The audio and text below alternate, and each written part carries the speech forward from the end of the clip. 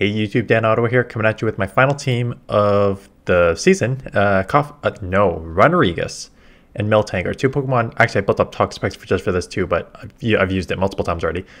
Miltank and, and Runerigus I have not used yet, so I was interested in trying them out. I have, I'm just gonna play the battles because there's a couple things that came to my mind when I was using these two Pokemon. So the first, let's just talk about Runerigus.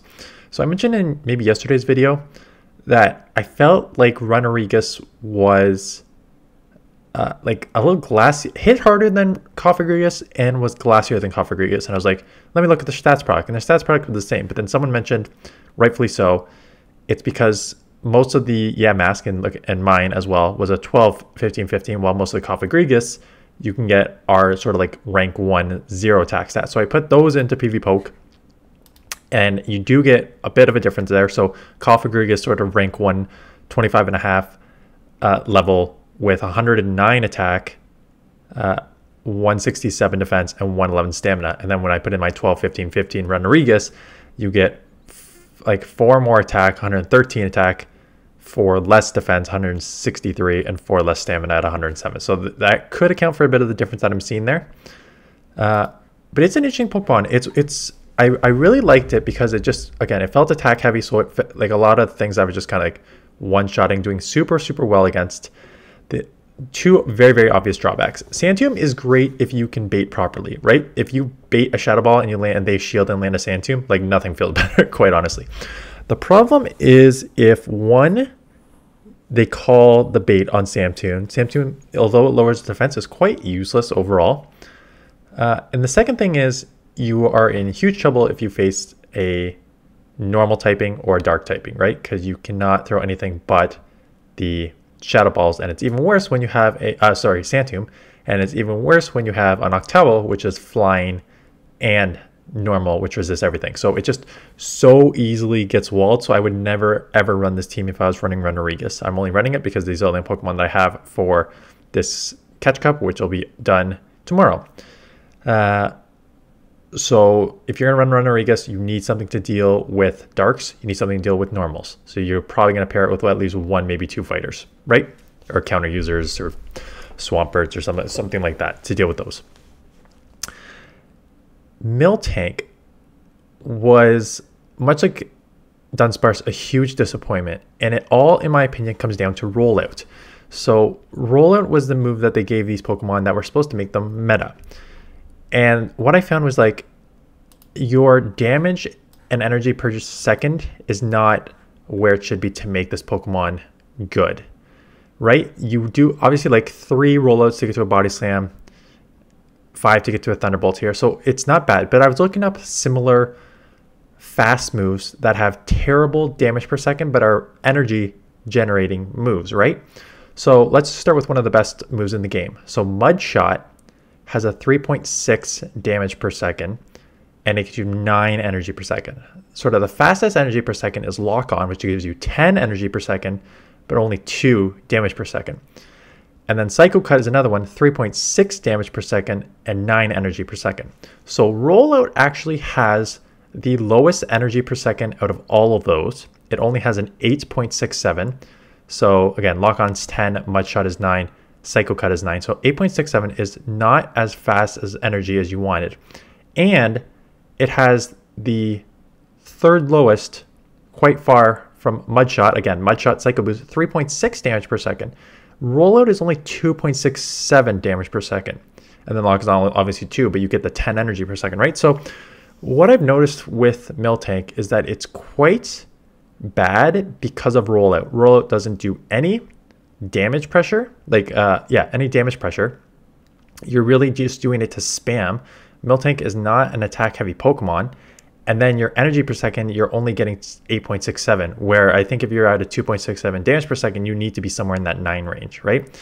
So that's, I think, the problem with both Dunsparce and Miltank. And some would argue that you can't make them any more spammier because then they would be like too strong.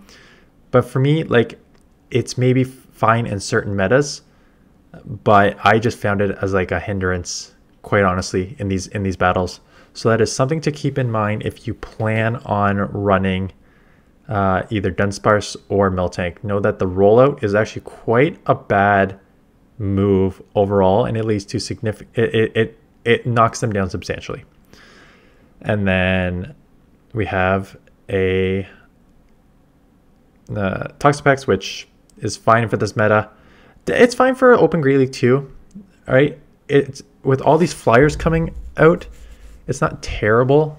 Um, I will talk about so tomorrow I'm gonna make a video like right after this I'm gonna make a video going over my legendaries hint none from GBL rewards shinies decent amount actually so I'll showcase those and then PvPoke has updated the rankings for season 13 so I just want to do a quick analysis of how these moves have shifted so uh, like right off the bat you're gonna see oops right off the bat you're gonna see that into the top 10 three flyers because the wing attack buff is too strong. Um, Noctowl, Pelipper, and Pidgeot with wing attack are all in the top 10 now. So if that's the case, if they're all in the top 10, you're going to see a uptick in your Registeels and Galarian Stunfisk to deal with those. I think more Registeels because Galarian Stunfisk still loses if baited properly against Noctowl, and the Pelipper is going to outpace you now significantly to the Weather Balls.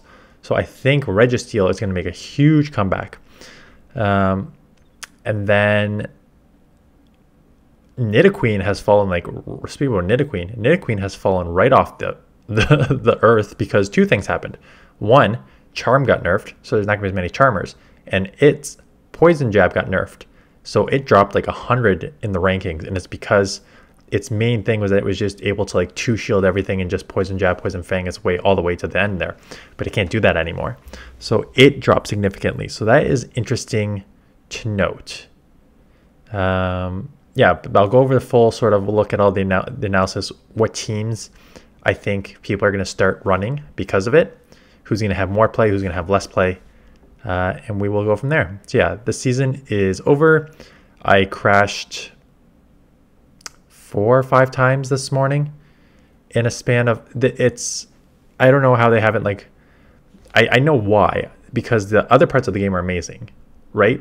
The speed that you send gifts, the speed that you catch Pokemon, I'm doing way more of that stuff that I, I like wouldn't do as much because how fast it is now. They're trading that off for a game that just continues to crash in GBL.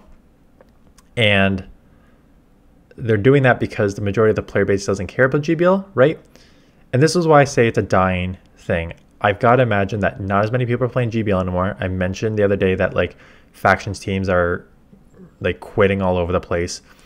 Like players, the game's getting stale. Some of the staples that have played for a long time aren't playing anymore, like Wallower and stuff like that. It just, I think this game is getting too stale. I think the meta is getting too stale. I think that like GBL is is becoming one of the lower priorities. It was always a low priority, but it's coming to be a lower priority for this game, which means that, um, which means that they're not going to fix this bug because the majority of the people like the, how fast the game is now. So it'll be very very interesting how long this bug is here. It's very frustrating because I can't like it doesn't matter to me now because I've already hit legend. It's going to matter to me come Thursday afternoon when I'm playing and I'm losing games because the game's crashing on me. But we will see. I'll talk about that tomorrow more in the rant. Uh, yeah, so that's it. Thanks for watching. See you guys in the next one.